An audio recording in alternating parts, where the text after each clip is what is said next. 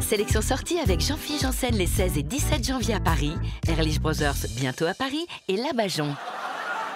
Alors tout à l'heure, on parlera des licenciements, mais avant la fête, j'ai une très bonne nouvelle pour tous ceux qui n'aimaient pas Gérard.